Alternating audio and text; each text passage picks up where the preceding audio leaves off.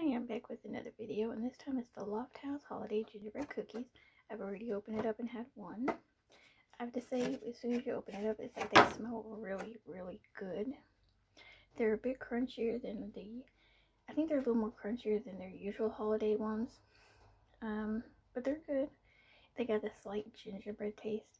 I was looking for the little Debbie ones I usually get, but they didn't have any. And, um, so I was going back to take the holiday cookies I picked up back, and then um, I found the gingerbread cookies. So I went ahead and grabbed some of these.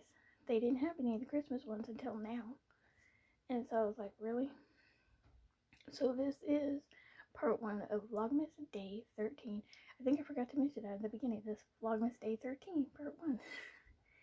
These little Lofthouse gingerbread cookies.